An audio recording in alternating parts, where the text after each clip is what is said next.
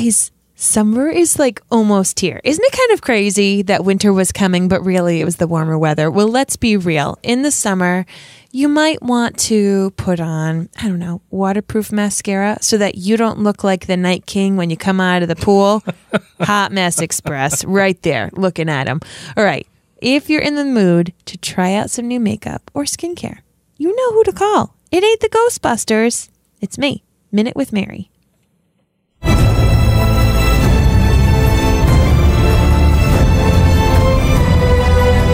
From Providence, Rhode Island, welcome to the North Remembers. It's a podcast dedicated to the show Game of Thrones on HBO, so sit back and relax because winter's here.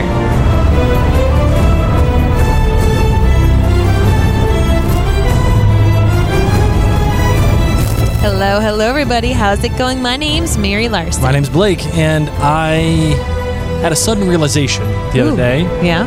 a very sudden realization. Okay. I'm super sad. I'm super friggin' sad. More, Why? More sad than I care to admit. I know. actually. Why? There's no more Game of Thrones. Like, period. That that's it. From from now on. From from now on. That is the end. No more Game of Thrones on Sundays. I'm done. And you know what? This is the last episode of the North Remembers that we're going to be doing. I think for the foreseeable future. So that makes it doubly sad. Seriously. I mean, you know, I wa- am, am I as emotional as I was when we did the final episode of the Leftovers podcast? No, that kind of messed with me for like a couple of weeks. I know. I had was a hard rough on time. you. I had a hard time letting that one go. That was that was rough. Yeah. Um, but I'm I'm still very I'm very sad about the, how all of this has transpired. It's it's hard letting go. It's and uh, I think that's kind of the problem with a lot of people that they're having with the Game of Thrones Mm. Yeah. and why they I think they're so disappointed uh, in the finale or in the final season because letting go of the your favorite thing is never easy. It's No. it's never fun right? And like you listen to this podcast because you love Game of Thrones. I mean, maybe you're just really big fans of Mary and I. I mean, let's be honest. Um, but you know, you love Game of Thrones, and Yeah. seeing your favorite thing just go away, it sucks. Yeah. it sucks, right? I mean, who the hell wants to let go of that stuff? Nobody. Nobody, man. Yes, no, nobody. um, so we we've taken some time here, obviously, to do this final episode. I think we're, we are going to tackle uh, the Last Watch, which is the documentary at the end of the season. Yep. But I also think that this episode should focus on season eight as a whole, uh, and m- maybe with a highlight of the finale. Okay. What do you think about all that? Do you think that makes sense? Is there anything else that you want to tackle as you know, we're gonna see how it goes because I I too have been sad. So here you are being like, "This is the end." I don't know if this is the end because you know the documentary, of course, was really the last thing that we've seen. Mm-hmm. Um, so we're just gonna see how this goes. But I too am sad. All right, you ready? Me To, too, I'm sad. You ready to get into the show? Isn't that so terrible? it is terrible. It I'm like, sucks, I'm man. It sucks. Uh, but before we get into the show, I want to remind you that you can find us at maryandblake.com where we have all of our podcasts, including the upcoming Hamilton series that we will have there. Uh, it is for patrons only. So if you want to hear it, you do have to become a patron of Mary and Blake at Outlandercast. Uh, if you do that, you can hear it. Uh, otherwise, all of our other podcasts are for free and ready for your entertainment and enjoyment, uh, including the aforementioned Leftovers podcast. If you're looking for a brand new show to obsess about after Game of Thrones has now ended, check out The Leftovers. It's also on HBO. You will not be disappointed. Uh, we also have This Is Us Too, which is dedicated to This Is Us on NBC. Uh, we have You've Been Gilmored, which is uh, about the Gilmore Girls. We got we got more podcasts than you can friggin' control. All right, we, get, we we're we're all over the place. And if you want to find us on social media, you can just check us out on Facebook. That's generally the best place to look at us. Just look up Mary and Blake, and the same thing for Twitter too. We are on Twitter. Generally, it's just me replying on Twitter, and not Mary. So uh, it's so you're warned in So- case you're like, "What is this sass?" It's not me. so it's Mary and Blake on Twitter, uh, and that is about it. Marvin, anything else before we get into the rest of the show? That's it, man. All right, let's do it.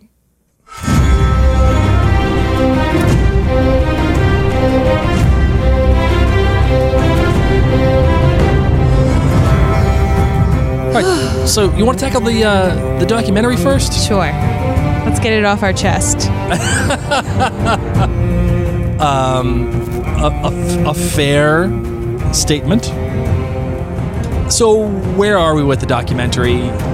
What, what are you feeling about it? I, I know you have some strong feelings. Okay. Well, first off, can I please be the guy who's in charge of snow? Oh my god, Because that guy took his job so seriously. he loved the snowmaking He business. loved it. But he was like not really joyous. He he took it very seriously. He's like, I'm gonna make this snow perfect. right. Um, so we got to know a lot about the snow because winter was coming, of course. We got to know a lot about the sandwich shop lady. Um, I didn't. I mean, she seemed nice. I'd like to get a sandwich from her. Well, all right. Before we get into the details of it, Oh, where are you with it? Are you positive? I, I, I I'm feel like- negative. yeah, we're tracking towards it. Okay. In case you guys haven't picked up on this, I was expecting a lot. You know, we went through the finale and I was like, okay, all right. Um, I have really enjoyed the post episode discussions that Yes. like help you see something like when the episode where uh, King's Landing burned down. I loved watching the after show episode, the in depth in the episode to really see how they built King's Landing backwards and how they had to go uh, really take care of, of building King's Landing from scratch pretty much because they had to burn it down. I loved that. And I really expected that this documentary was going to help me love this season even more, that it was going to uh, show me people who I actually care about rather than just Kit Harington's reaction, which was amazing. Right. But I really didn't spend any time with anyone that I cared about. Um, I felt bad for a lot of people and I didn't really care about much that they did. I mean, honestly, why are we spending so much time on and I it's weird because I liked I liked these after episode things and obviously I think it must have been someone different because I'd have been the same team who created those after episodes. I would think I would have liked it. Right. But I didn't like this. Yeah, it's hard uh, because you're so invested in the people that you've watched, Mm-hmm. and I could even think I could even make an argument that you're invested in Dan and Dave, right? Yeah. Um, you're invested in the Double D's because they're the showrunners. You've spent a lot of time with them over the years, especially if you're an avid watcher of Game of Thrones. You've watched probably all of those inside the episode things, and you feel like you know them and you want to see more of them. And in this documentary, they were almost treated as like they were uh, myths, like above it all. Like there was this one scene, it stuck out to me. It was like, oh, Dan and Dave are here, Dan and Dave are here, and like that was it. That was the only thing you really got a chance. Yeah, the makeup people them. and they were like they're coming to see our makeup. Oh my god! Like, and that was it. Um, and you spent some time with the last table read. Which I liked, uh. Especially seeing the guy who plays Varys be Oh, be visibly upset, pissed. be visibly upset with his how his character ends. Oh my gosh. And then the actress who plays Brienne of Tarth, like, just kind of like pats his back because you could tell she's like, whoa, man. whoa. but you're right, Mary. I think they made a choice to spend time with people in production that weren't all that compelling. Yeah. You know, you had That I didn't care about. And that's the thing is that this season, we were cut short already on characters we cared about. Yeah. I wanted to at least spend time with the people I cared about. I mean, it was nice to see the guy who's been the Stark bannerman. You know, that through- guy I enjoyed. that guy. They heavily invested in that guy. Correct. Um, but like, I I think the problem is that at the end of the episode, we're spending time with Snow Guy, who has nothing to do. Well, yeah, and like at least the Bannerman guy, when he was around, so was Jon Snow, so was Davos, so was Grey Worm. So you got to see more behind the scenes. Like we we loved Bannerman guy. If you've been a huge fan of the show, you've probably seen Bannerman guy because he really has been a big deal. Sure. Like this guy has been in every season. Yep. He's been a Stark forever. So to have that connection has been important. To see the behind the scenes with him when he gets to talk to Kit Harington, you know, to have those moments with the coat and everything. yeah, like that was great. And I think that um, we were not as connected with the other behind the scenes people. And Right. for us to be the most connected with that guy is an issue. and spending time with food cart lady like okay like if, if you had a little bit with her If, like, cool. if people that I actually cared about went to Food Cart Lady and I was like, oh, Peter Dinklage likes uh, Cuban panini, um, you know, and whoever, like Maisie Williams, she likes to get iced tea, like, you know, and comes up and has little banter. I assume that these like big time actors either didn't have time for this documentary or didn't sign off on it. Like, who knows why they were not a bigger part of it? But I was expecting this is the food cart lady. All of the major staff, like, do they get their sandwiches delivered to them? Maybe. Maybe. Maybe, they do. But then why the hell am I spending time with this food cart lady? I don't want to see, like, was it cool to see the burnt guys eating sandwiches? yes. Yeah. But I- like, I, I feel like you spend a little time with that and then you move on. Like it's an interesting facet of what the show accomplished. Yep. You know, and it was also great to see the guy who was the stunt coordinator, who they ended up choosing to be the Night King. Mm-hmm. Like that whole transformation and the makeup and how he was reacting to all the fans in Spain. Even learning how they called Kit Keith, Keith uh, in Spain. Cool little fact. Like, I would have liked to have seen more. More. of that. Yes. Although the lady who was the set design supervisor, whatever she was, she Yeah. was the set coordinator. That lady is my spirit animal. Animal dropping f bombs like it's her job. Oh my gosh. You I didn't get to see enough of lady. her. I wanted more of that lady. Uh, you know, and I think you're right. It's hard because, like, you know, remember how they had those those 25 minute like after episode specials where you'd watch it and they'd go through all of the details of like the special effects guys and how they created all the, The fire. and all that other stuff. Perhaps they felt like, or the lady that was the director of this particular documentary felt like you already got all of that, you know, inside baseball stuff well, I didn't, honey. With those things. Let's tell more human stories. And that's the real question. It's a human story that she's telling with all of these people that are involved with the production of the show, people that we would never otherwise know. Correct. I guess y- y- there's this line of demarcation where you're like, okay, do I care about these people at all? Is this interesting enough to make me care about these people? You know, had it been a multi episode documentary series, had it been fleshed out even more, I would have felt differently about it. But like this was the first this was the first thing that we did the next Sunday following the finale Yes. of the Game of Thrones. So we just went off on this like acid trip of a season. Okay, let's all be real. Now that we've had some time to catch our breath, what in the world just happened? Okay, that was crazy.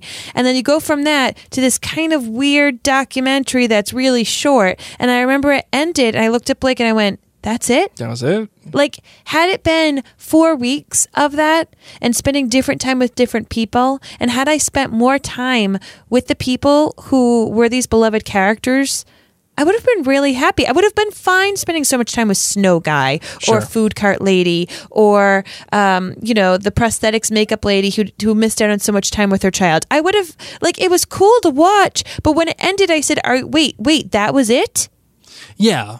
I wanted it to enlighten the finale a little bit more. Yes. I Enlighten wanted the whole last season. Yeah, and it did. I mean, it did on on a basic level, like uh, you know, the the set design and how it was all created, uh, and in how much time. And they're like, this is literally impossible. We can't do this. I- Again, this is inside baseball stuff where you're like. Wow, that is incredible how they Yeah. how they manufactured an entire city Yes. Like that. I find that interesting. I think perhaps if we got more of that, I mean, we're repeating ourselves here, uh, Yeah. but uh, you know, basically it was like a C. It wasn't a failure. Didn't It was blow me like, away. Not at not at all. Not at all what I was expecting because it was the finale. It was the documentary after the series finale. The series fin- the finale wasn't um, the most stellar finale ever. Um, so I was really hoping that it was going to fill in the dis- the disappointments that people had, and it did not work. I think the thing that threw me off was that there was essentially zero involvement with the showrunners. Or yeah, yeah. and because of that, it's almost like, Uh, uh, of course, they approved it, right? I mean, of, of course they did. Uh, uh If they didn't, they, the person wouldn't be on set. They wouldn't be filming. There wouldn't be a documentary. Mm-hmm. But to not have that guiding hand almost. Yeah. You know that that uh I- I feel like we could spend more time with people that we didn't know and didn't necessarily care about if mm-hmm. we spent more time with the Double D's. And since they had no involvement wha- with it whatsoever, I just felt like we were being told a separate story that just happened to run in conjunction with the f- finale season. Mm-hmm. Mm-hmm. And th- that isn't as compelling to me. It's it's just not. Agreed. So uh, those are our thoughts. I know we didn't go, you know, huge. We're not going to go really in depth because mm. I mean, I, I enjoyed it. we it. could, but I mean, but what's the point? What's the point? it just didn't do it for me, guys. Will I watch it again? Probably not. I, I doubt that it will be on my replay. like whereas I will probably watch the after episode clips when I do my rewatches of Game of Thrones. Absolutely, because it deals directly with the people that we know and care about, and how specifically how each episode was particularly made, decisions, why they were made.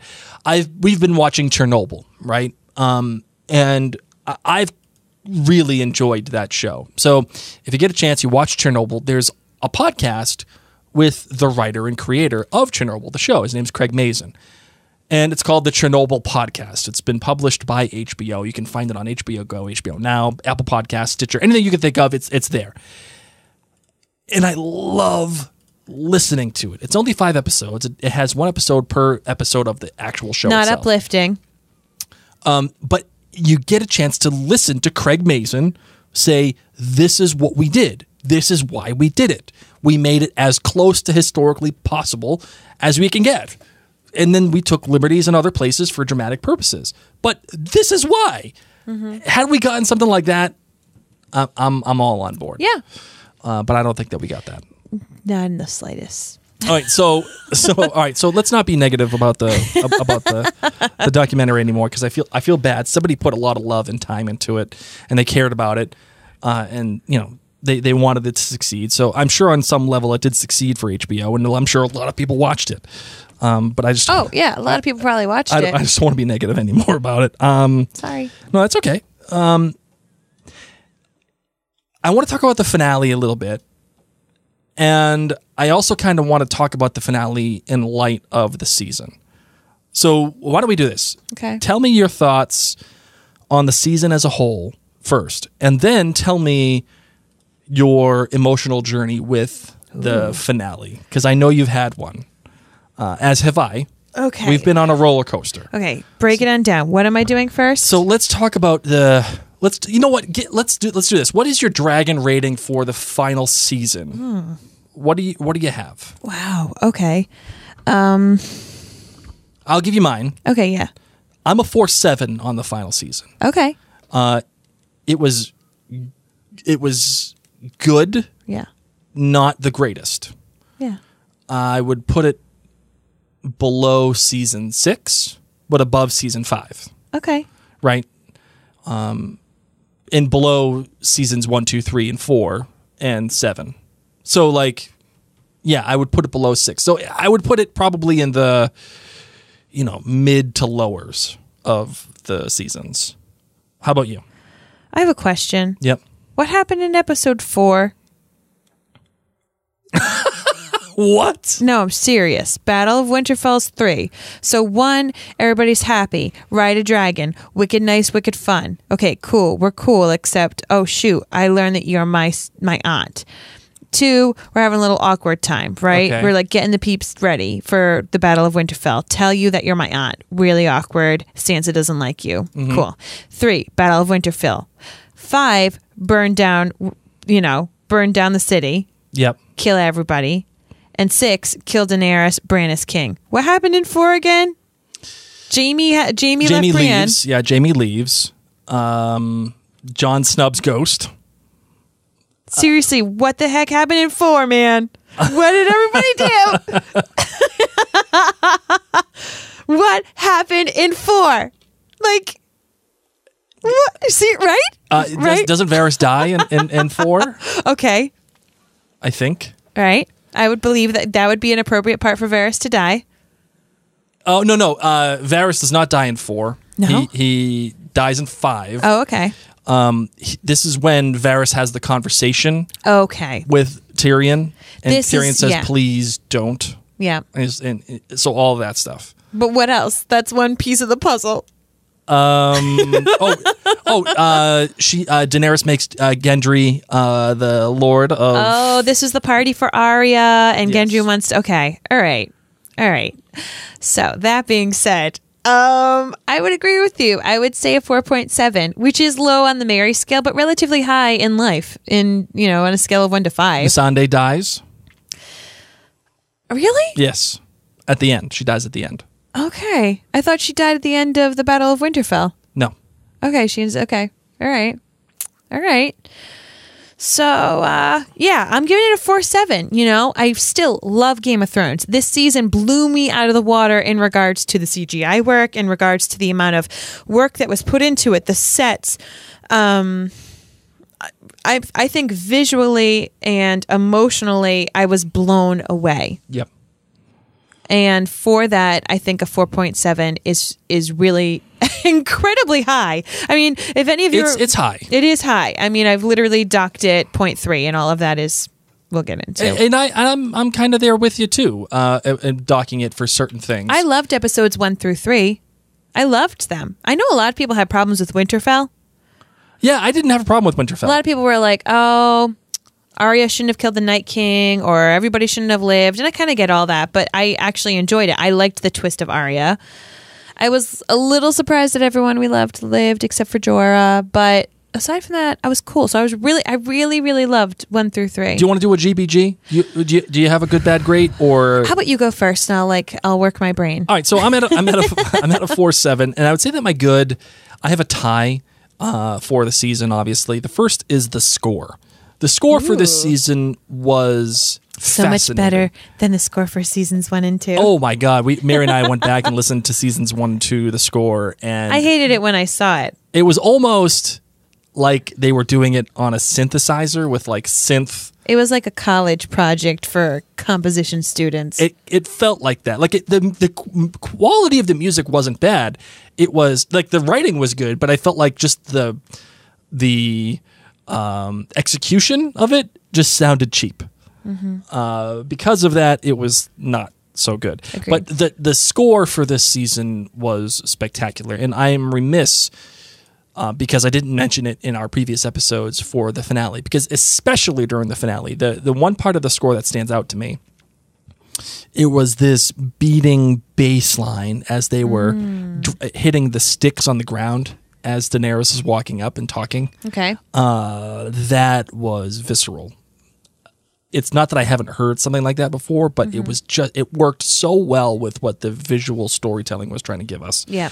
Um, it reminded me, in I've said this before about certain things, but it reminded me of the Governor's Pulse in The Walking Dead, uh, in seasons three and four of The Walking Dead when the show was good. Yeah. Uh, and Bear McCreary nailed it with that theme. So I really liked that.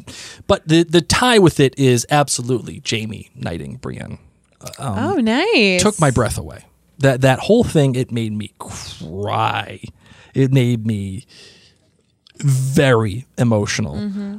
I, I couldn't get enough of I mean, and part and parcel with that too is the entire scene with all of those characters sitting in front of the fire before the battle. so good. That whole fire scene is is tremendous. Yes. I could watch that over and over again. Like, and and, Yes. and it breaks my heart a little bit that Bryan Cogman is not getting his spin-off of Game of Thrones. In fact, that he's moving on to the Lord of the Rings trilogy. Uh, well, I'm sorry, he's moving on to the Lord of the Rings show that's being put on by Amazon. They they've Gonna now so good. employed him for that show. Be so good. So it's going to be interesting how that happens.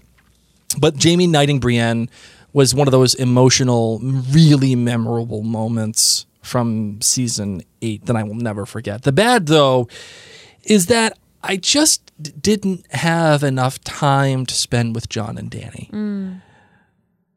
And, and I, I think the unfortunate problem with season eight is that the entire season it rested on that conceit. It rested on the conceit that Jon and Dany loved each other and wanted to be with each other. Mm-hmm. If you didn't buy into that, you didn't buy the season. Agreed. And you didn't buy everything. And we're going to get into this a little, little bit. Um, but if you didn't buy it, then there was a problem.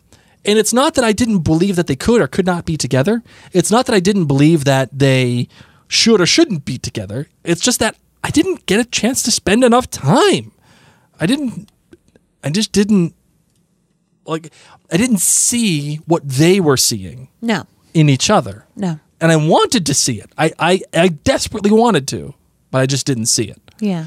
Uh, the great for me though is the craft work. The craft work on this show, uh, it's impeccable. Agreed. Impeccable is not even the word. It is astounding. It's befuddling how sensational it is. You'll never see anything like this again on a television. Hmm. I mean, you might. I I, But not I seriously doubt soon. it. I I don't know. I mean, maybe Westworld, maybe. Uh, I mean, that is a show that has a massive budget. No, I'm not saying like anytime soon, but maybe in like 10 years. Maybe I, you know, the one that is kind of ironically enough lining up to be something like this size, and someone that is pouring a ton of money into it, is Amazon's Lord of the Rings show. That show is going to be massive. I'm so excited. I know, me too. It, it's going to be massive, uh, and it will be similar, I think, in scope to what Game of Thrones is. It'll be interesting to see what kind of effect it has on the zeitgeist. You know, um, if if it does become something of that ilk, because there's a whole community of Lord of the Rings people out there that just adore the books and the movies they they are thirsty for this kind of show. So I I'm wondering what it's going to be like. Anyway, Yeah. Sorry, Marvin. What do you got No. for, for yourself? Okay, so my good. Let's see, my good. My good was that I really felt like I got to see everyone I cared about a lot. Mm-hmm. I I agree that I wish I had more time with Jon and Dany, but I got to see everyone I cared about a lot, and um, for that I was thankful because it was such a short short season. They could have snubbed people, and I really do. I mean, even look at Podrick or Theon. You know these this what would be smaller characters. I mean, heck, we even got to see Yara. Like we got to see everybody again, and I'm thankful for that. I'm Sure. thankful that I got to say goodbye to everybody. Everyone got a proper goodbye. Everyone got their moment. I don't know one Okay, character that yeah. was that was set aside for nothing. You know what I mean? Agreed. I think everyone got their moment to just And shine. for that, I'm thankful. yes. All right. What about your what about the about, about your bad? I mean, the thing that stands out to you where you're like, this should have been better. It should have had, they should have had more time. They should have had 10 episodes. I think if they had had 10 episodes, they could have fleshed out the Jon and Daenerys connection. Yes. They could have, if they really wanted Bran to be king, which still I don't understand, but fine. If they still really wanted that, they would have had a little bit more time to make me feel like he wasn't the evil villain in this show at the end. yeah. Um, they would have had time. It reminds me kind of of the finale of Lost, where like you still sat there and you're like, but why were there polar bears again? Why did the birds keep flying into the windows? Like, like what? What's this about? Um, you know, like Daenerys continually saying, "I can't get pregnant. I can't get pregnant," yet she's having sex with Jon. Like, okay, fine, that went nowhere. well, girls got needs. No, I know, but I felt like it was lining things up that they were going to have a child, and that child would be like a true Targaryen heir again, you know, born Sure. out of incest again. Sure. I don't even know. But I just feel like there's all these things that I assume are going to be. I mean, heck, it's George R. R. Martin. He just watched this show and went, Oh, I'm going to answer that question. And I'm going to answer that question. People are going to love my books because everything they're going to be questioning, I'm going to answer. But I just feel like it didn't have enough time to live up to the previous seven seasons questions lore um i just it just didn't feel like a properly it felt too short Okay. it felt like you needed to write your thesis and it was you, You you, got halfway. procrastinated Right. So Yeah. you, you crammed it all in the pa- in the last two days. that's my bad I mean, that's possible. But uh, uh, how about your great? My great. Goodness gracious. My great was just that this was truly a beautiful show to watch. Yes. It was beautiful. It was rich. Um, and it was beautiful because people finally started to watch it. Blake and I watched it from the beginning, and we were just nerds, lonely nerds who would watch it and talk about the show, and nobody watched it because Nobody they were like, "Oh, I'm not going to pay for HBO. I don't want to watch that. Sounds just like Lord of the Rings. Oh, I don't watch like sci-fi stuff. What do you mean someone has dragons? And I don't really do that. That's just weird." Like I was made fun of on at my work because I wanted to talk about Game of Thrones. And literally my boss was like, nobody's going to want to hear about that. That's too nerdy. Hmm. And I love that it has become like this superpower that it has. I love that nerds have taken over the earth and that um, other people were able to see what we saw, and that hopefully these people will be inspired to read the books. So you've had an emotional journey with the finale. Truly. Um, And that emotional journey has taken you up, it has taken you down, it has taken you left and right all over the place. Yep. Explain to me what you've felt over the past three weeks now. It's been three weeks since the finale. we needed to digest. and uh, again, we, we wanted to take this time to dig- to digest, sit with it, let it let it simmer, and go where it takes us. So, where has the finale taken you? Where are you right now with it? I'm still a little lost. and I think I was better off in a place after I'd seen the finale. I think I was in such a high and I was just so excited and I was blown away and I was thankful that the Stark children were all alive and that they all seemed to be living their happy little lives. But I feel so lost for Daenerys' story. And Yep. as I've had more time to settle on it, I really it's tough because we cheered for her for so long. We were all like Tyrion. We were all Tyrion in this show, right? We all were like, wow, we cheered for her. We cheered for her when she killed everybody. And, you know, the Starks have been really good forever. So go Team Stark. But, um, you know, I loved I loved so much about this final season. I did. I thought it was beautiful. I loved gearing up to Winterfell. I think I struggled with the fact that Winterfell happened in episode 3 and then I sat there scratching my head saying, "Wait, what? What do we do now? Like now it's just mere mortals." You know, since hmm. since episode 1 of season 1, it's been yes, these mere mortal wars go on. There's battles go on between the houses and the people, but really there's a supernatural force that we can't comprehend that's coming for you all. And that was ex- extinguished in episode 3 and there were no more magical ramifications except for weird Bran. You know, why do you think I came? Um Is that what he says? Why do you think I came all this way? Why do you think I came all this way? I don't know, Bran. Why'd you tell me, bro? Stop warging into crows, Bran. Um, Do something useful, Bran.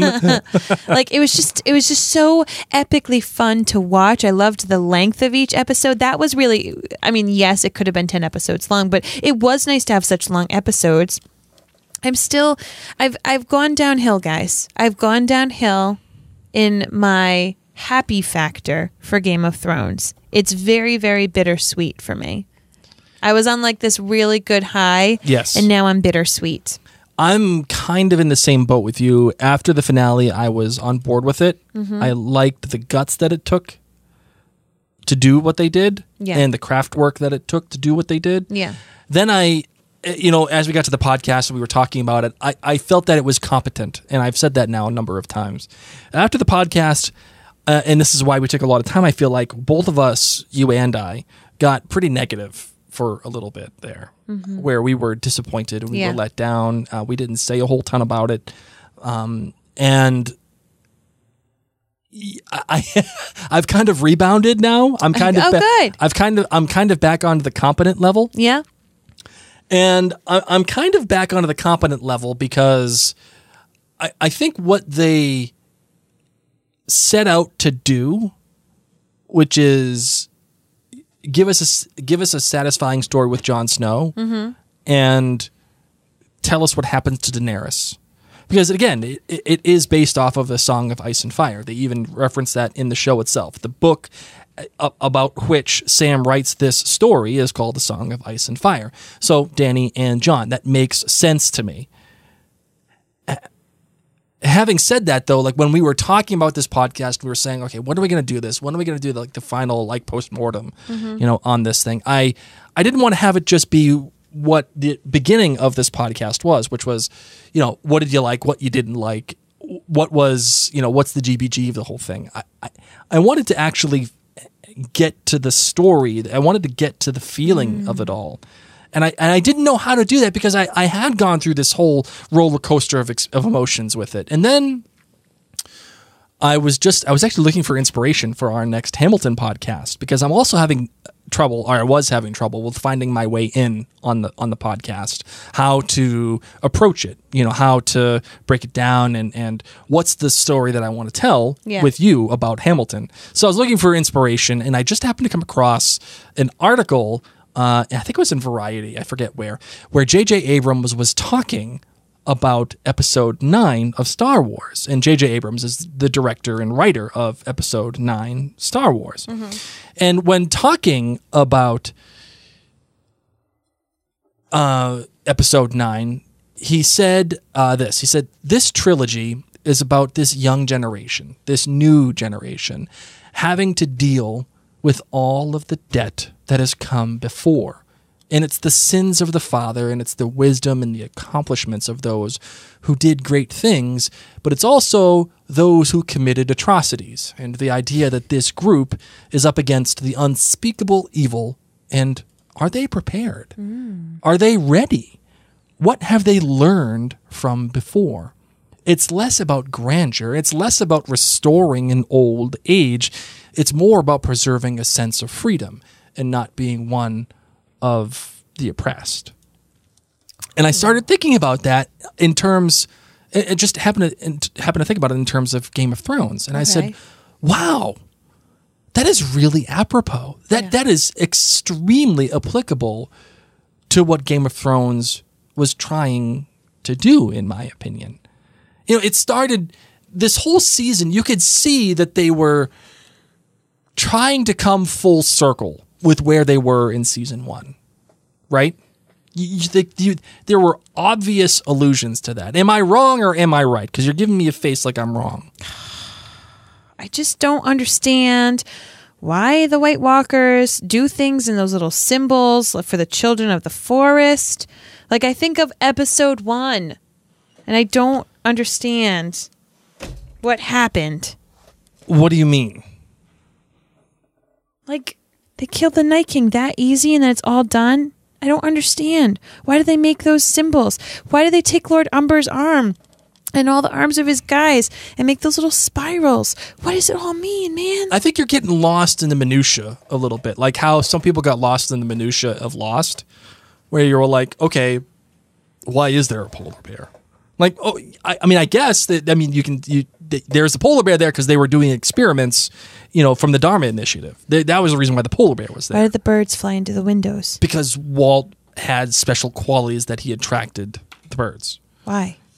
Again, Exactly. see, this is the minutia that I think This you're getting lost in. problem, man. I think I think you just have to accept that the White Walkers, and in particular the Night King, Like to make spirals. They, they like had to make shapes. there there were these things that were part of their being, and maybe they were symbols, they were they were warnings, they were uh, maybe they were just advertisements of "We're coming to get you." Like this, th- there's we we don't you don't mess around with us. I think there is a logical argument to there, but you said something that kind of resonates with me, which is what are we doing in the beginning of the first episode? And how that translates to the final episode. Like that mm-hmm. first episode, the first thing you see are people walking out of the wall and going into the woods. And the last thing that you see are people walking out of the wall and going Oh, into the woods cool. right? And this is what I'm getting at. Like, the final shot of the series is Jon Snow walking with all the wildlings into the north. And we've we- we've ended where we've began, not and quite literally with the first shot of the series, yes. But we ended with Jon where he began, which is essentially at the wall. And even though we've come full circle, Jon has changed. Jon is a better, I don't want to say a better man, but he has a better understanding of himself. We understand who he is, how he's changed, and why we as an audience are better and wiser for it. We as an audience have changed with Jon.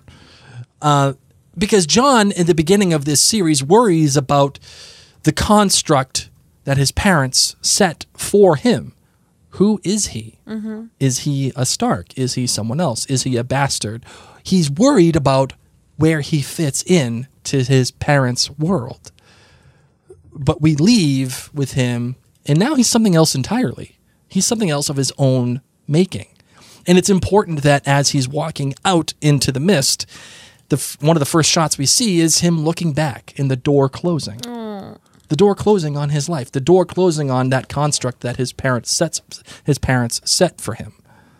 And it relates back to the whole thing with J.J. Abrams saying, yes, this is the world that their parents and the people that mm-hmm. were there before them created. Are they prepared for that? Are they prepared to move on? Are they prepared to deal with the things? Are they prepared to create the freedom that they so desperately need? And that final shot, I think, is extraordinarily acceptable. Mm-hmm. I think it's a perfect way to end the series. And again, which is why I kind of have come back around to competent again. um, but I think where I think where you are 100% right, my darling, is what they did with Dany. Um, what they did with Dany was, I, I don't want to say inexcusable, um, because I, I- think what they did in terms of her turning and blowing up the city and doing everything that they did is a good trajectory for her. Like it, that to me makes sense. Would you agree with that? Do, do you think that it's something Yeah. that her her character is capable of doing? Yeah, I mean, and as I've said time and time again, like they've outlined it. They have dropped the hints. They have let us know that this is what she's capable of. And as Tyrion said, like we cheered for her, but she has killed hundreds and hundreds of people before. like this is in her blood. She has been very open that she is willing to kill uh, to rule them all.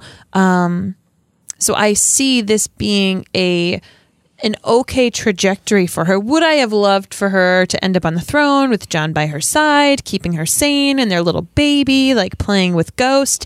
Yes. But that would have been the Disney ending. And Right. this is not Disney. Right. And, you know, we talked about the first shot with Jon and where he began and where he ended. And they were full circle. We ended up in the same space, but Jon was changed. He was better for it. All of the experiences that he had led to him becoming something else. It led to him becoming something that he created himself. Whereas Dany, I think Dany's trajectory is confused. Um, and I don't think that's the fault of the Double D's. I think that's more the fault of George Martin. Um, because I think Germ had this idea that he wanted Dany to become her father, essentially. Yeah. Gurm being George R. R. Martin. Right. He wanted this. Like there- there's there's no way the Double D's made this ending all up by themselves. Like they they I guarantee you, Dany turns in the books. It happens. Now it's just a question of getting there. Um,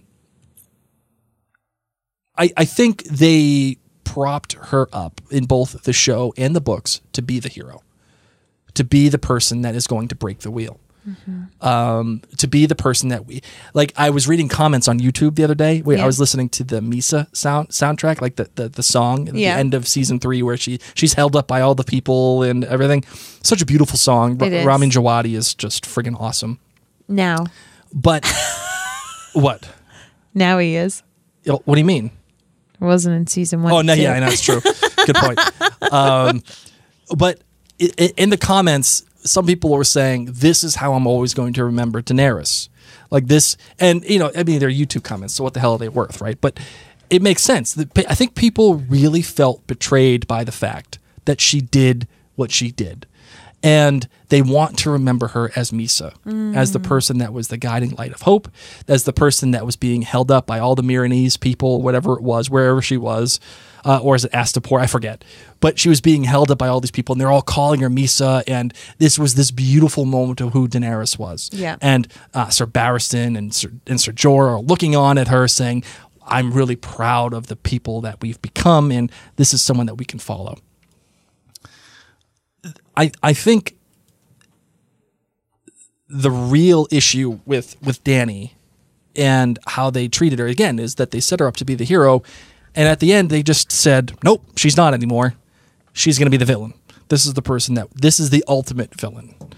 And they made her turn because that's what the plot needed her to do. Well, and it was so quick. It's like as soon as the truth was known, then everyone saw her as a bad woman. As soon as the truth was known about Jon Snow and his parentage, then everyone was like, oh, you know, since Daenerys isn't our only option, now I'm starting to see her as a bad person. Like, it wasn't like she had done many bad things before. You know, what- I mean, she Well, she had. did, she did, but we didn't see it through the eyes, and that's why I'm saying it's like it all happened so quickly. As soon as Sam said she burned my brother and my dad, and she's your aunt, and she's not cool, man, Right. Then everyone switched. Yeah, and I really think that a real issue with her story is yes, you have that portion where it's like they kind of switched allegiances. And I can accept all of that because I think that kind of thing happens in people in stressful times. Uh, they see other situations and they're like, well, maybe this isn't the right choice. And that's all reasonable to me. Yeah. What is not reasonable to me is how the stakes were set for Daenerys in episode 5 when she is on her dragon looking out at the city and she makes the decision to burn the, the effort down. She's burning it all down. We don't have any reasoning for it. We don't even have an inciting incident for it. There are no stakes set for us as viewers. She simply does it because the plot needs her to do it. Now, there's an argument that she's alone, she's making bad decisions, she's depressed, all of those things that we said in, in the in the previous episodes. But the stakes here are muddled at best, in my opinion. And, and by stakes, I mean like, what is the, what's the whole purpose? What's the whole reason for what you're doing? What are the, like we just watched Chernobyl, right? There was Yeah. there were stakes there. Like either you fix this thing and people are okay, or you don't and people die. Those are stakes. Mm-hmm. What am what am I risking, and what happens if I fail? Those are two staple things of stakes. What am I risking, and what happens if I fail? What are the consequences? And we don't really get to know what the consequences are in the finale. We don't know. Okay, Right. so all of King's Landing is burnt. Like nobody lives there. All the homes, everything, it's all burnt to ashes. Cleanup crew on aisle nine like needs to do the entire King's Landing. So who ends up living in King's Landing? Now that Daenerys is dead, who's ruling all of the, you know, Slaver's Bay? Like what the heck's going on there? Right. Um, and then who ends up moving into King's Landing? Like what the heck? and even and even on that that's on a no, that's okay. That's on a macro level and you're right. Those are all things that are true. I'm even more concerned on a micro level right? On a micro level the stakes being what is the point of what dany is doing? Like what what happens? What is she risking? And what happens if she doesn't what are the consequences if she fails right? Because either way she's won the war. She's won it. That's it mm-hmm. What is she actually risking? She doesn't have any any more human connections. Because earlier in the episode we see her talk to Jon and say, "Fine, let it be fear then." She's not risking anything with Jon. Yes. She doesn't have a conversation with Jon about this is going to happen and this is why. I, I can't risk being in charge of all of these people that hate me. Mm-hmm. I have no love. I'm going to burn them all down. And what happens when she does it? The clear stakes would have been Jon saying, Don't do it. Because if you do it, either one, we're going to have an issue between you and I, like we're going to have to fight it out, or two, we can we can never ever be. We, can, we are, are are the way that we want to do But it. you're saying because he doesn't say that, Yeah, because there's there's nothing there's no there are no stakes for Dany to to to make a choice during that time. She just chooses He says please, but you're saying you wish that Jon would have fleshed it out. Like, Dany, seriously, if you do this, you're going to be too crazy and I can't be your boyfriend anymore. Yeah, like uh, uh, on a very basic level, yes. Because Even though I don't want to be your boyfriend anymore because you're my aunt. there, there's nothing personal about it anymore. She goes. It, it reminds me almost of, you know, think like Independence Day or like Armageddon. When you see that big asteroid collide with Paris in Armageddon, you see the whole thing blow up, and the, and the Eiffel Tower blows up, or even in, Arm, in, in Independence Day when the aliens blow up the White House. Mm-hmm. You're like, whoa like that was that was incredible. Like i've never seen the eiffel tower blow up or the white house blow up. But those aren't stakes. You don't know anybody in the white house. You don't care about anybody in paris and armageddon. They're just hundreds of thousands of people that you have no relationship with and they just blow up for the sake of blowing up it's just spectacle and that i think is the issue with what they did on game of thrones the stakes are very low in terms of it's obvious that Dany blowing up the city is bad. Yes. There's nothing emotional about that. It sucks. There's nothing pulling you either way, which again takes us back to, to Dany and Jon. If there's a moment between the two, if there's a human relationship between the two, and Jon sets stakes for Dany or vice versa, what is Dany losing by blowing up that city? Nothing. But if she does, if he sets those stakes, she loses Jon, she loses her humanity. You could argue that she does lose her, her humanity, especially with the visual aspect of her with the dragon wings behind her. She's finally become the dragon. She's lost all touch with everything. Um, but I, I, I think it's not a coincidence that the show becomes most visceral when she and Jon are back together again. And he says, "Did you see the bodies? Did you see the mm-hmm. kids? Look what you did, you little jerk." Yes. You know, Home Alone. Yes. and she does have this beautiful line of it's hard to see things that have never been before. I love that line. Yes. It's almost like she's childlike. She doesn't understand the consequences. And when she he says to her, "Did you see all the stuff?" She says, "Well, yeah, she was uh, Cersei was using her her people against me as a weapon, so I had to take them out." What the hell kind of stakes is that? Nobody cares about them. I mean, I cared a little bit about the mom who had the Cersei haircut. Yeah, but even then, you don't have a real relationship with her, No, right? I don't. I mean, the show is is is clear on Daenerys' final moment, which is great. The dragon takes her back with her to wherever they're going to go, Somewhere. uh, and her the the moment that we see Daenerys that at, that we know born essentially is the end of season one, where she comes out of the fire, and with her are her dragons. She brings dragons into life, and in death, the dragons take her away, um, which I think is is fair. But she's also basing her entire rule within the construct that was set by their parents. Right? So you see Jon moving out of the construct at the end of the series. Yeah. He's like, screw you all. I'm going to go hang up north. Daenerys is saying, I'm going to break the wheel. But the breaking the wheel, the idea is based on the construct that her parents created, meaning she's becoming the ruler because she's a Targaryen. And that is it. That's the one thing that motivates her. It's the thing for the thingness of it all. It's just ruling for the sake of ruling. It's being a Targaryen hmm. for the sake of being a Targaryen, which is why I think her demise is proper. Yeah.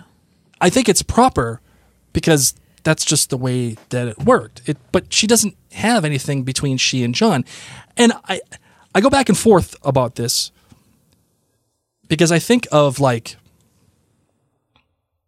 something that these two shows, well, th- these two things are are going to be considered hand in hand. I think from now on, which are the Avengers and Game of Thrones, like the Avengers, Infinity War, half the population, you know, spoiler alert, um, So in the previous movie, Infinity War, half the population goes to dust because Thanos snaps his fingers and that's that. And on a macro level, that's a big deal. But the stakes are with the characters that we know and love. So when we see, um, you know, half the people get dusted that we know and love, we're upset about it. Or when we see Spider Man clinging to Iron Man, it's a big deal because we know that relationship. And they take it even further in Endgame with spoiler alert. Yes, spoiler alert. You've been warned You've three been warned. times. Spoiler alert for Endgame. We see Tony with his daughter. The stakes for Tony are so small, yet they are So incredible. personal, Reed. they are incredible. I don't want to lose my daughter. He refuses to do what he needs to do because of his daughter. This is a, a child that we've seen for about three and a half minutes. And we love her simply because of one amazing line mm-hmm. I love you 3000. At no point did we get Well, and she was a kid. You like love kids right away because you're like, oh, you're a kid. It's like what they do with dogs, you know? Had there been a dog in King's Yes. Landing, that's what they should have done, guys. They should have had the wild dogs of King's Landing running around looking for their masters. So when it comes to the stakes of what Dany and Jon were doing, there was nothing personal. It was only macro. It was only the the White House being blown up. It was only the Eiffel Tower being blown up. Why? Because of time? Because they didn't have enough time to flesh it out? Or because. Yes, but I still think you could have gotten the correct stakes out of it if you had a proper conversation between the two of them. And like, because I like to work within the construct and the confines of what the show has given us. Mm-hmm. Like, I don't want to wholesale change it. I don't think that's fair because they clearly had a story they wanted to tell. They wanted to get to certain points, and you can't just change the outcome because that's not the story that they're telling. I think the idea is how do you get to the points that they're telling? And I think the point is nobody cared about what Daenerys did. And because of that, nobody it never resonated with anybody. And once that happened, you couldn't buy into the conceit that Dany had turned and that Jon needed to kill her because of it. Mm-hmm. There was nothing set forth bet- between the two characters. Well, because Jon doesn't want to be with her. Once he learns that she's his aunt, he doesn't want to be with her, and that's off the table. And that is why she checks out. Yes, but she doesn't make that decision because of Jon, right? She doesn't. That Jon's decision has no bearing on whether or not she was going to do what she was going to do. Yeah, because she's alone. Yeah, but it doesn't change anything for Jon. He already has made his decision that he doesn't want to be with her. Oh, yeah. right? So whether or not she blows up King's Landing doesn't change the fact that he wants to be with her. He even argues with Tyrion, saying, You weren't there. You don't know what was going on. This was hard for her. He defends her. There's and not until we get to the actual conversation with Jon and Dany do we have any kind of emotional feeling towards what Dany was doing with the city. And that's the issue, I think. Is that we were in her shoes and from her perspective up until season eight. And we saw things from her perspective and we cheered her on. And now we're in the Stark's perspective, we're in Sam's perspective, and we see Dany as a villain. Yeah, because so suddenly her connection to humanity is gone. And when she says, let it be fear, then all of those stakes, all of those personal connections, the humanity of what she is capable of doing is now gone. Well, and I just feel bad because keeping it real, guys. You know, when you've gone through a breakup and like it's the heat of the moment, like that day, and you kind of do something a little crazy, Yes. that's why I feel a little bad for Daenerys, okay? Right. And she she just had a dragon. Okay, like normal people, we would have been like, uh, screw that person. And then you like go and you block them on Facebook or you like prank call them a million times. You send him a bag like, of dicks. yeah, you send them a bag of dicks. You can look it up at bagadicks.com. Um, maybe you go and eat a pint of Perry- Ben and Jerry's. Maybe you go, um, not like I did it, but uh, maybe you would just go to like a show and like hook up with someone random just to be like, I've still got it. um, yeah, that happened. That happened. Oh my God. I didn't do anything bad. I just said hook up, which means like make out, but I like sloppy made out on a dance floor. That was embarrassing. Okay. Dany didn't get that. Dany didn't get to go to a local pub, find Brienne of Tarth, drink out of, uh, you know, Tormund's giant goat horn, a lot of mead, and just get smashed and have Podrick sing her a slong about his dong and you know what I mean? She didn't get that. She didn't get the Ben and Jerry's guys. Mm-hmm. She had a dragon and she just went a little crazy. She found out her boyfriend didn't want to be with her anymore, and there was nothing she could do to change it. Yeah. And she's all alone, and Cersei sucks, and the Night King sucks, and everything sucks, okay, guys? And all of us have had those days. We've all had those days. Uh, you know, I can accept like the whole thing with with Brienne and Jaime. I can accept that. Like I love how they ended that with Brienne and Jaime. oh my gosh, most people hate it. I yes. loved it. I thought it was friggin' awesome. I like I just I thought it was so fitting that she writes in the book for him. I just thought that was Oh, that, yes, not him leaving and going to. right. But see, that's a case where we where where we are judging too quickly.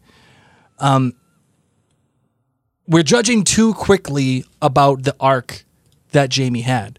Yes, was it not as befitting in season in episode five that Jaime dies with Cersei and Cersei has this kind of death where she's just alone? Yeah, I mean, I, I would say that that's not wholly satisfying, but seeing Brienne with tears in her eyes writing in the Book of Good Deeds and in the Book of Brothers at the end saying how he defended, he died defending his queen, that is fitting to me. I, I, I find that exceptional Yes. and it, that it's by the hand of Brienne of Tarth who's doing it. Yes. exceptional. Uh, uh, the thing talking about the first and last scenes with all of the other characters, the first scenes with Sansa, who wanted to become this woman who She wanted to be the wanted to be the queen. queen, and here she is, full circle back in Winterfell, the queen. She's changed. She's better for it Queen of the North. but she's the queen of the north. Even Arya. Arya was a girl that never fit in. She was a girl that was doing her own thing. She was the one who was making fun of Bran as he was doing the arrow, as doing the bow and arrow, and shooting it better than he ever could. yes. She never fit into that world. She never fit into being the lady. And what is she doing at the end? She's never fitting in with the world. She's seeing something else. Mm. She's going west of Westeros. The same thing with Jon. He is full circle, but he has changed. He is better for it. And Daenerys, I feel like, is full circle. She is what she wanted to become. She's changed. She may not be better off, but she is what she is. So, I don't know. I I feel like they accomplished what they tried to do, which going back to the beginning of this podcast episode, which was what I was saying is they had a definite idea of creating a circle. They had an idea of creating something that reflected season 1 and showing you that these people were different and still the same at the same time, but they were all better off for it. Um, do you think they succeeded in that, or do you think they failed at that?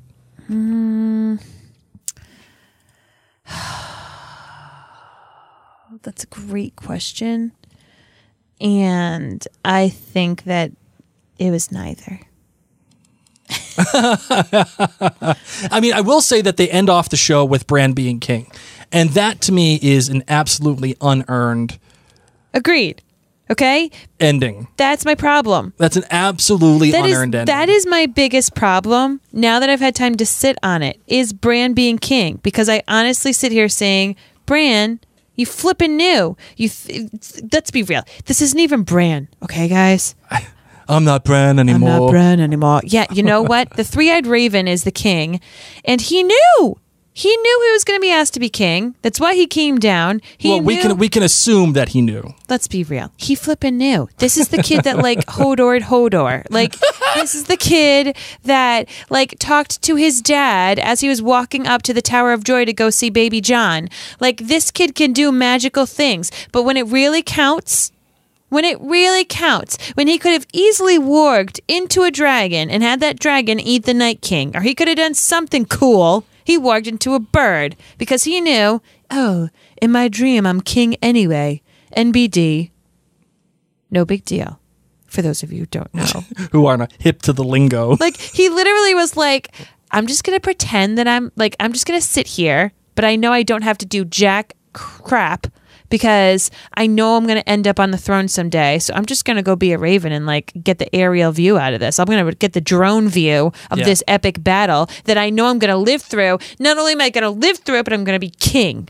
that line, the final line with with Bran saying, "What do you think I've I've been came all this way for?" It's a damning line. It's it's It something needs that maniacal laughter underneath it. yeah, like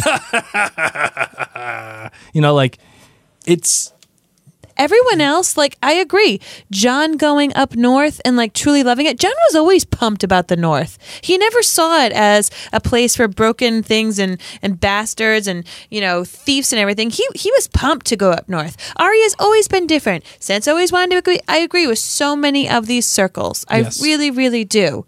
Brandon Stark, the third eyed raven, not cool. it's it's an unearned ending, and I would accept it. It. It's almost as if the Double D's and even Germ have no idea what to do with Bran. They had no idea what to do with him. Even in the show, the kid was gone for an entire season. And then he came back with puberty. yeah, that's true. But they, I, I feel like they had no idea what to do with him, and it's obvious to me that they didn't because he didn't do anything. He didn't do anything other than Hodor Hodor, right? Yep. He didn't affect the past at all. He didn't affect the the present at all. Certainly, he warged out into crows, you know, for for nothing other than just maybe trying to lure the Night King to where he was. Like maybe that's something that he did, but it, it isn't clear in the No, show. Number not. one, um, and I, you know, I think there's one thing, you know, for you know, spoon feeding things to, to the audience, but it's another thing to just be entirely, completely vague about it. And even if that's what his, the extent of what he did to his abilities was, is that really enough? Is that enough to warrant him being the king? Now, the speech that Tyrion has saying, you know, stories are what unites us, and what better story than Bran the Broken? I agree. It's a nice story. Would it have been better if Brandon Broken actually did something to affect Yeah. the plot? Yeah. Thanks, Bran. Thanks for nothing. Right. That's why it's an un. If he had done something, if he had done one thing to affect the plot in any spe- spectacular way, then I would be like, congratulations, you've won. You've won the Game of Thrones, then I Brandon can see Stark. it. Then I can see it. Right. Worthless. But I, I, he did. He just didn't, and that's why it's unearned. You know what? Let's get off the crabby train. Yes. Let's get onto the positive train. For those of you who don't know me, I'm generally an optimistic person. Yes. But as you can tell, I've been in a bit of a doldrum, henceforth why it's taken us three weeks to do this episode. Sansa Stark. Sansa Stark and how she ended is perfect for her. It's perfect because she came that she became that person that the way that it ended. Yeah. Like that was a natural thing for her. Her storyline was brilliant. I her storyline was so multifaceted, so much growth. Um, love, love, love her storyline. Are you feeling better about Arya? I've always felt fine about Arya. Okay. I've been on the Arya train. I Arya does not belong in this world. Remember I said that she's like Frodo? She's done Yes. some weird stuff. Yes. So she needs to go on a little boat somewhere. So does Jon. Jon's like Frodo. You got to go somewhere different, man. Got to go up north. Um, you know, and, and I'll go back to the whole thing with Jon and Daenerys right before he, he you know, he, he kills her. I, th- I again, I will say it was such a beautifully written scene. It made me weep. It really did. I agree. Um, not into the same level of Jaime knighting Brienne, but I finally got some kind of cl- not closure, but I, I got some kind of stakes with with between the two of them, where it was where Jon finally realized this ain't gonna work. This is gonna be bad. This is this is it. yeah. Um, and I loved that naivete that Emilia Clarke had, where she's smiling and talking about the kid who couldn't count couldn't count to twenty, and we needed that. We had such bad Daenerys for the past two episodes. yeah, um, such a really a, a remarkable scene between the two, uh, and seeing Kit's reaction to it in, in To the, the last table watch read? to the table read was Heartbreaking. It was. It really was. Like the poor guy was crying. You could see, you know, you could see him being like, "Wow, I I can't believe that's the case. And like Emilia Clarke looking at him like, oh my god, yeah, like this is what's gonna happen. Like, and you know, here's the other thing too. Going back to the last watch, they said that you know it was Jon killing Daenerys, and then end of Game of Thrones. That was the end. Is that something that you think they changed?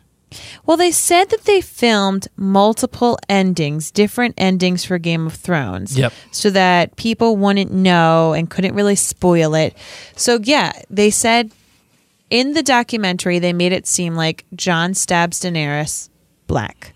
Like done. Yes. There there's the end of the se- end of the series. I know it's kind of a useless it's kind of a useless exercise. But given the fact that we've we've talked about these final shots and the denouement, if you will, Denouement. you know, because the final shot has to encapsulate, in my opinion, everything that your show or your movie has tried to achieve. Um, you think of the leftovers with the goat walking away in the house. Uh, you think of Breaking Bad with Walt looking up at his creation. Uh, whether or not he's alive or dead, we don't know. Spoiler alert. But you know, you, you, consider that, or even the final shot of Lost with people with the church and Jack looking up at the airplane flying over. You know, those shots encapsulate, whether you believe it or not, what those shows created. Would, in this exercise, Jon killing Dany encapsulate everything that Game of Thrones achieved for you? Or do you think it ended in a more fitting fashion with Jon walking up to the, to the north? I liked Jon going up north. I think, I mean, there's already so many questions that I have. You know, where did, where is Daenerys' body? You know, um, how did King's Landing get rebuilt? You know, there's all these questions that I already have, but at least a bunch of them are answered in this epilogue. Yes. So I'm okay with having an epilogue. I'm okay with not ending on Jon stabbing Daenerys. I'm really okay with that. I think I would have been like, "What? Yeah. It, it would Is that what you're asking me?" Yeah, like I do you feel like that would have been a better ending with Jon stabbing Daenerys and the and that's the end? No. I think I'm with you. I think I, I think I can co-sign. Now, if the Night King stabbed Daenerys, That would have been something. that would have been something. I just wish I had more time with the Night King. Not the Night King per se, but like, But like The White Walkers. the, like the the the, the specter of yeah, the White Walkers. I just felt like it was supernatural for so much of the show, and then all of a sudden, it's like, never mind. Most of the world will never know about the White Walkers. Yeah, now now this is th- this is something that we can I think as a, a Game of Thrones community argue about, which is the importance of the of the White Walkers and what they did for the story and the show telling us from day 1 that this is the real threat. And then all of a sudden, No, you know the halfway prob- through the final season, they're not anymore. it's okay. You know what this problem is? For all of my Harry Potter fans, all you sitting out there being like, You're a wizard, Harry. What are you about to say, Mary? We've got our wands. Okay, we're ready. Dumbledore's army, you're all here. This is the Horcrux versus the um, Deathly, Hallows, Yes. problem, Yes. which, let's be real, wasn't even that like easy to follow in the book. Okay, Harry had a tough time. What do you deal with? Do you deal with the Deathly Follow- Hallows? Do you deal with the Horcruxes? And he had a lot of tutelage, you know, from Ghost Dumbledore to help him, and it was fine. They figured it out. But in the movie, they just had to like fast forward through that, man. They were like, okay, there's these Deathly Hallows, and then there are these Horcruxes, but just take my word for it. Focus on the Horcruxes, okay? just just take our word for it, okay? We're not we keep, we don't have time. We don't have time to tell you the whole story. We don't have time to go into like any of this stuff. Just just deal with it. Even though yes, you could have a wand that fixes everything. Just just go for the Horcruxes. And I feel like that's what happened. I feel like it's like Horcruxes are people. It's Cersei. It's mm-hmm. Daenerys. It's the the kingdoms. It's it's the seven kingdoms. It's who's in charge of the north. Who's in charge of this or that. And then those magical Deathly Hallows that could literally change the existence of the planet and could literally demolish you. Mm-hmm. Or if you had control of it, you would win. I don't know.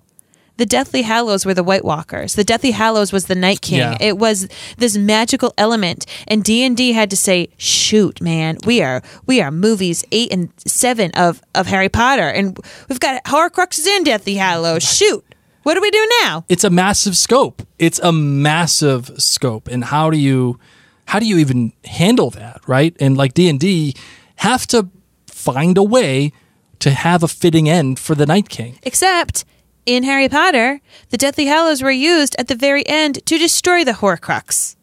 Okay, Yes, And in the end, Harry chooses to break the Elder Wand. Okay, see you later. All Horcrux is done except for the um, invisibility. They- you're right. The the first three episodes do feel very much like a, a separate show from Yes. the final three episodes because you have the fear of the Deathly Hallows. You have this huge magical fear of the White Walkers, and then the magic is gone. yeah. I'm still negative. Shoot, I said I was going to be positive. no, but I mean, the argument here would be okay. Are you picking up when I put it down? Am I like too distant? No, no, no, no. You're, you're you're you're right on track because you you have these two separate th- through lines of Game of Thrones that are both valid, right? and They're- both have pre- been prevalent since episode one. Right. I mean, you're going to have to deal with Cersei. You're going to have to deal with the Night King. You're going to have to deal with Daenerys and who the hell's in charge and who's going to end up on the throne. What what is the world going to look like after all is said and done? You have to come to that point. And the argument I think that you could make would be you got rid of the Night King and it just happened. And that was the first three episodes. And then the next three episodes were Cersei and the Daenerys.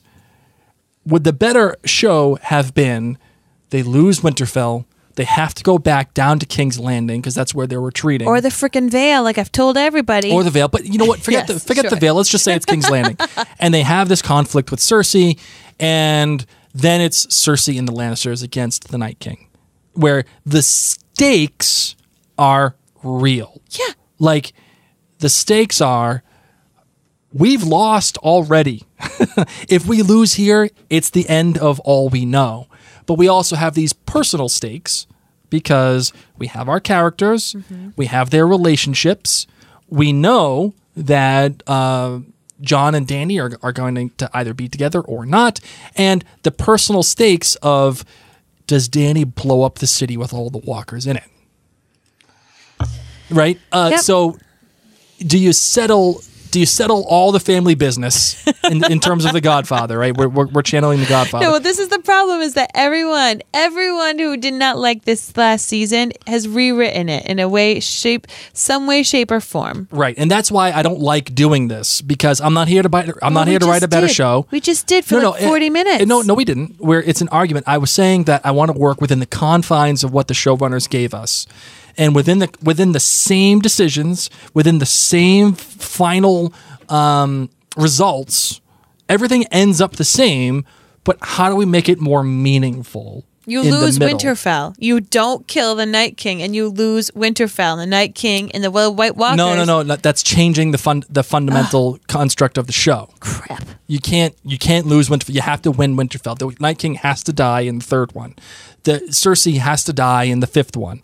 How do you make it more meaningful?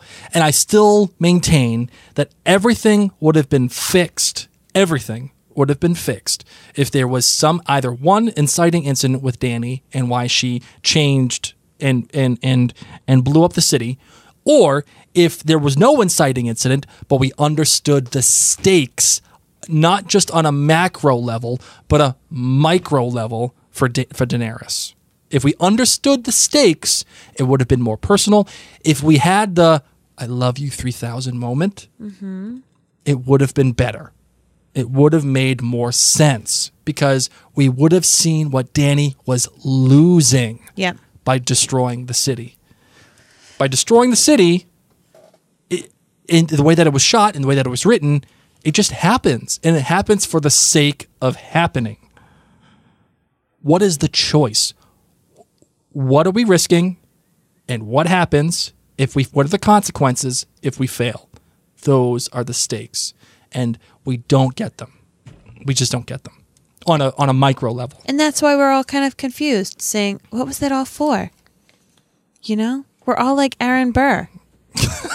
what are we what will you fall for? This episode brought to you by Rise Up, a Hamilton podcast with Mary and Blake. So, I mean, overall, as I said, 4.7.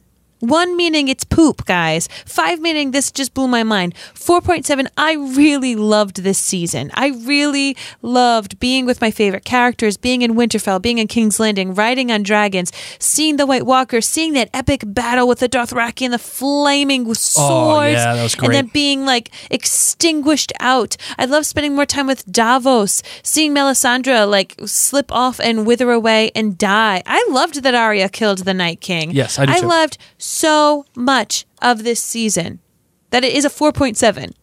Like, right. And, and, and ending ending on a positive note here, we're calling this episode of what we're doing here, we're calling it A Dream of Spring, which is the title of the final book of A Song of Ice and Fire uh, that George R. R. Martin is writing. It will be the final title of the final book. Uh, and I like it because the hope of what Dany was trying to bring is a dream. The hope of what Jon is trying to live after now that he's created his own construct is a dream. It's not real, it's a dream. And I think that it's fitting with the end of Daenerys. That it was the dream of Daenerys. It was the dream of Mhysa, the dream of a Targaryen Mhysa. coming back and, and ruling uh, justly, and and in the the whole world being right again, and having that little callback moment of the of the plant in, uh, in above the north of the, The wall snow, and the yeah. snow, and and it was spurting through, and and maybe winter is over because the Night King is dead. It's a dream of spring, and here, I, the dream of it all is that we began and we ended in the same place. But we, as an audience, and I think as the characters of the show, we have all changed. We've all grown. We've all become better for it. And that is the dream that we all should end up having at the end of this run, at the end of this show. I think we'll all look back two or three years from now and be a little less critical of it. I think we'll accept it as a whole Yeah. a lot more easier than we are right now accepting it as a part. it's just one of the things that I had said to you was, you know, we've been doing a lot of rewatching of previous seasons and previous episodes, and Yep. you say, "Oh my gosh, all of this, all of this, the red wedding, eh, like everything led to this." And it was so fast and so abrupt, and we got whiplash from it. But also, society got all in on this. As I said before, it was just us hardcore nerds watching and reading it before. I didn't read it, but Blake had read it, but we were all watching it before. And it was like this tight knit little thing. And then it became this juggernaut in society. And when society gets behind it, society's rather negative. I know I've been negative this episode, guys. Please forgive me. I'm not myself tonight. um, but when society gets behind it, of course, people are even more critical. You know, we had T-shirts, we had Daenerys T-shirts, we had Targaryen, we had everything, and so because of that, it became this monumental thing. I mean, people had Game of Thrones parties, finale and premiere parties. Yeah. It became so huge that when it didn't live up to your expectations, it was ginormous. Versus. I mean, I I've been honest. I generally don't like the first two slash three episodes of a season of Game of Thrones. I found it to be very slow pace. I'm rather bored mm-hmm. had this been the way that this final season was, had it been stretched out, we might have been bored the first couple of episodes. And then what? People would have been like, oh, this season sucks, you know? Mm-hmm. So I don't think they could have made the masses happy. I think that people would have always been critical. Um, everyone feels like they can write a better story. But I agree with you, Blake, that as we look back on this, we're really going to be amazed and in awe about this fictional amazing story that took us to a world unlike our own with dragons and white walkers and family dynamics and plots and backstabbing and this in unbelievably strong family that like families that stick together through thick and thin. The Mm. Yep. Lannisters and the Starks stuck together. I mean, Tyrion didn't stick to Cersei, but you know what I mean. Like he still he still wept at their death. He Yes. still they were still siblings. and he was still trying to save her in the end. Right. Right. Right. So- Right, right. I mean, it's perfect. I mean, there's just so much that you get to keep thinking about and unraveling. Um, and as a whole, I'm just so thankful that Game of Thrones was in my life. Yeah, I, I think saying that you know D and D are bad writers is unfair. They they gave us seven, if not eight, tremendous seasons of a sh- of a massive, I mean massive, gargantuan show, one that pleased us all so much. We loved it so much that there are podcasts, there are blogs, there are T-shirts Yes. they people loved it so much that they hated the finale, or at least some people did, Because it had to end. because it had to end, and having your favorite thing end sucks. It's the worst. It's Burr. the worst, Burr. It really is, and that's the way that I choose to look at it. People loved it so much, they felt so much that they were disappointed.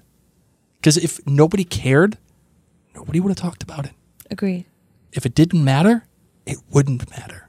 And here we are. We're still talking about it three weeks later. This will be something that people will um, digest and analyze for years to come.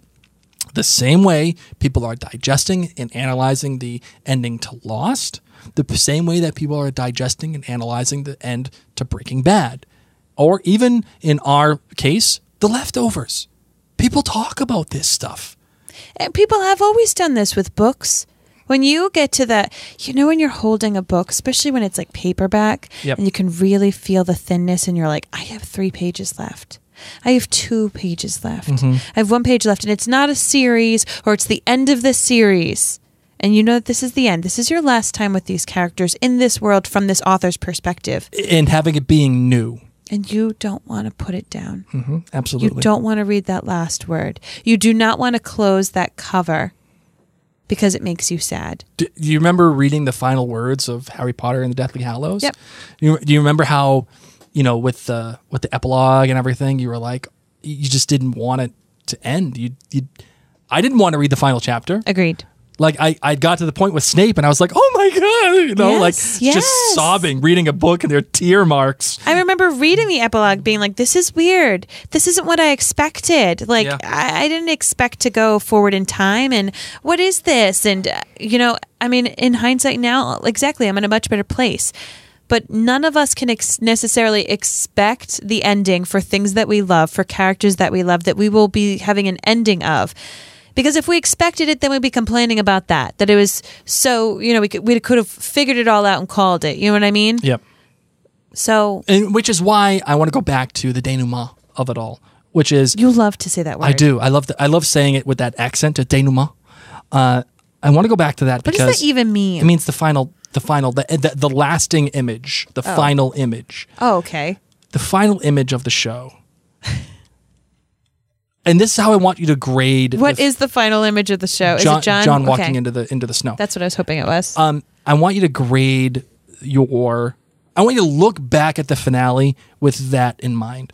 What did they accomplish with that final image? What was that feeling that it gave you? that the that the people of the North are no longer afraid to be up north. That we started the entire series with the people of the North being afraid, acting out, being cut up. That that uh, man of the watch literally abandoned it because he was so afraid from what he had seen. Right. And that winter was coming. And now you've. uh, Oh, sorry. Was this like a rhetorical question? No, no, no. You can you can answer it. it. I mean, it's it's rhetorical, but it's also applicable. Like I, I literally want you to pause the podcast and do what Mary just did. What is the final emotional response? What is the final emotional emotion that you that it that that image elicits?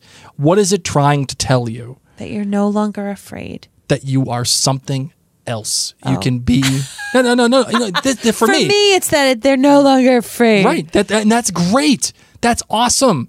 That is awesome. You don't have to be afraid because the construct is gone. And the same thing kind of goes for me. The ending means to me you've created your own life. It's no longer the world of your parents. It's no longer the thing that was set up for you as we bring it back to what JJ Abrams talked about for the for the Rise of Skywalker. It's no longer the stuff of your parents. It's the stuff of you. You've made your world. And I think that's special. That is what I think encapsulates Game of Thrones. What is that to you? Grade your emotion and grade your grade your liking of the finale off of that final image. Does that capture what Game of Thrones tried to give you? That's Yep. that's the final thing that I would Good job. to say. Yes. Thank you. I'd say yes. You know what I don't picture? What's that? I don't picture Jon writing letters to Bran. I don't see them really staying in touch. I know, neither do I. you know, I could see Arya doing it. Maybe Sansa. Yep. Jon, I think Jon goes off and is in a cave. And Oh no, I want him to have sex with wildlings, like snuggle with ghosts, have babies, and like Yeah. live happily ever after. yes. Uh, anything else you want to say about this, my darling? Because we are already an hour and a half. I'm done, man. I think I'm done I'm too. so done. I think I'm done. I'm so done with Bran. if you guys want, if you guys want us to continue having the North Remembers episodes, we will do so. Please. what? Okay. Yeah. I mean, well, I mean, if Because we might read the books.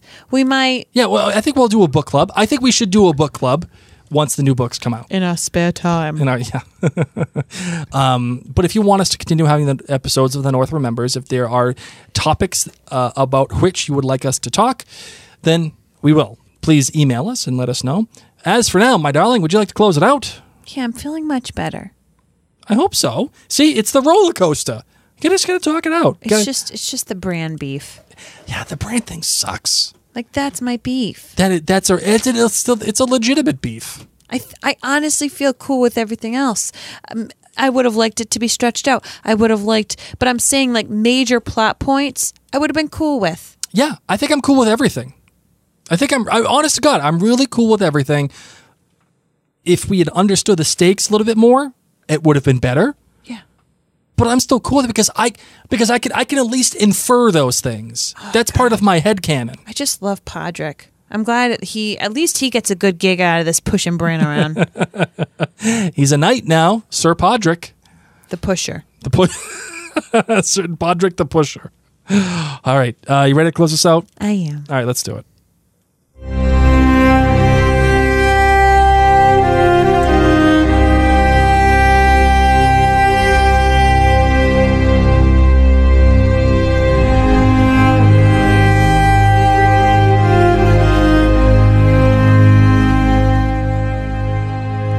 Thank you so much for joining us. I mean, it has. It's been three weeks since the finale, and you probably got this little notification in your podcast app saying, What? The North remembers? Thanks, guys. thank you so much for joining us. Yes, thank you for listening and thank you for being with us uh, on this entire journey of the final season of Game of Thrones. Yeah, as we talk about it, um, you know, it is a great honor and a great pleasure uh, of Mary and I's. I you know I can speak for Mary when I say this. It's a great honor to to have done this with you guys and to talk about it, to watch it, to laugh, uh, to make fun of it, and uh, but also to be quite serious about it and treat the thing that we love so much with the respect that I think it deserves, and being positive and uh, and enjoying the entire process. Uh, if you do want to continue listening to Mary and I, you can. Please go to maryandblake.com and check us out there where we have all of our podcasts, uh, including the newly minted podcast about Hamilton called Rise Up. That's right. Rise Very, up. very excited about this podcast. I'm, I'm already, we're already planning it out. I'm looking for our next episode, our first episode to be published within the next couple of weeks. Uh, we have a great plan uh, and a way to break it down. So I'm I'm pretty excited. We're, it's, it's going to be more than just looking at it song by song. We're going to be we're going to be diving pretty deep uh, into what the story is, what the characters are, the benefits and the the problems of having the characters the way that they are, and even talking to certain historians, uh, Hamilton experts, if you will. Uh, so I'm, I'm very excited about that. So find us also on social media, fa- on Facebook and Twitter. Just look up the word Mary and Blake. The words. the words, the phrase, the f- whatevs. you know, those things. All right, guys, we've already kept you here long enough. Go back and start up that. If you're if you're missing Game of Thrones, I highly recommend doing a rewatch. As I said, Blake and I have been doing it all season long in the midst of watching these the current. If you're missing episodes. Game of Thrones, go watch The Leftovers and then listen to oh. Mary and I yeah, for the Leftovers Actually, podcast. yes, yes. That's what I want you to do. Watch The Leftovers. Yeah. It's amazing. yeah, It's, it's and listen to our podcast and listen for to our podcast. All right, guys. My name is Mary, My name is Blake. and the North remembers.